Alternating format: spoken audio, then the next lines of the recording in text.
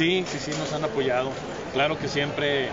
pues quisiéramos que fuera más para estar más solventes, llegar a más lugares, a más torneos, pero sí, desde los clubes, los, este, las autoridades, con el gobierno del Estado, eh, en este caso también el Centro Vic ahora apoyan a Marcela, sí, este, los dos últimos años han sido de muchos viajes y que sin las autoridades realmente no hubiera podido Marcela llegar a, a todos los torneos que están realmente en todo el mundo.